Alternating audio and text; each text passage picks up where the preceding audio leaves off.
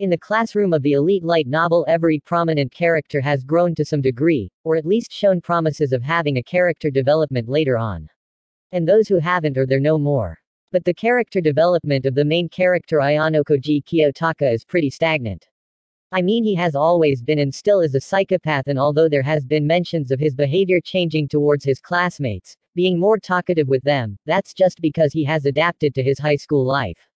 Before he entered high school he was in the white room where he knew next to nothing about social interactions. When he entered the school he built up a personality and as he observed other students by volume 4.5 he had solidified his kinda of gloomy introvert character. FYI, this was mentioned in his monologue in volume 4.5 while he was talking to Kay, for the people who don't know. Then as more special exams went by, we knew more about Kiyotaka's personality. He grows more accustomed to the everyday life of a normal student. And he also started dating Kay but that too, as he said in his monologue, was to learn about the opposite sex from the textbook that was Karuizawa Kay. After he was done reading it its purpose would have been served, although he does say a part of him hopes for an outcome different than that but that hope was also something that had been within him all along. He hoped to gain something from experiencing school life, hence he left the white room. He hoped to make good memories hence he tried to make friends but he still doesn't care about them. In just the latest volume he said that his basic principles were same as his father and he considered people beneath him, just like insects. It's not like his personality has changed but that we get to see more and more of it and we get to see his surrounding change. In a sense he had just become more OP because now he is improving upon his weak area and becoming more smooth and converting people to his tools. His personality, way of thinking and traits of a psychopath has always remained the same. The closest thing to his character development we have had is after his talk with Horikita Manabu, and he decides to become something like an overload observing and enjoying the fighting between his pawns.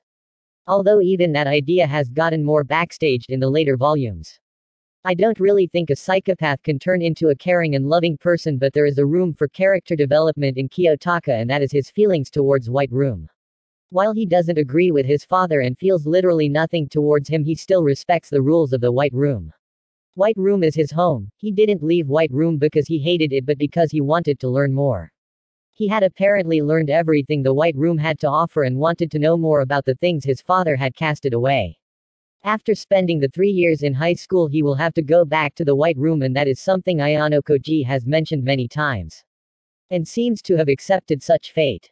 But then there is the volume 4.5 foreshadowing with the fortune teller lady telling Kiyotaka that his fate is in his hand and only he chooses his path.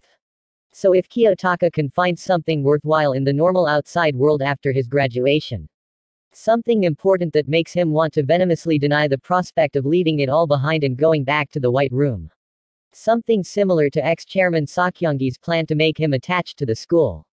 Ayanokouji obviously doesn't want to go under his father's thumb but he also doesn't have an objective to do something outside the White Room. If he finds an objective to do something for himself and pursues it or even something interesting enough to learn more about, that would make for a great character development and moreover for a great ending arc where he directly goes against his dad for the pursuit of his lifelong freedom.